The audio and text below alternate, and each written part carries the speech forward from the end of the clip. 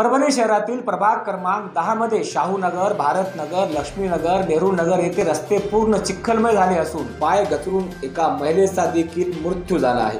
त्यामुळे या ठिकाणी तात्काळ रस्ते करा. अन्यथा तेरा सप्टेंबर रोजी जिल्हाधिकाऱ्यासमोर आंदोलन केले जाईल असा इशारा वंचित बहुजन आघाडीने गुरुवारी जिल्हाधिकाऱ्यांना दिलेल्या निवेदनात दिला आहे. यावेळी जिल्हाध्यक्ष आलमगीर खान महासचिव सुमित जाधव शहराध्यक्ष कलीम खान मिलिंद खंदारे संदीप काळे आदींसह बहुजन आदींसह अन्य कार्यकर्त्यांची उपस्थिती होती.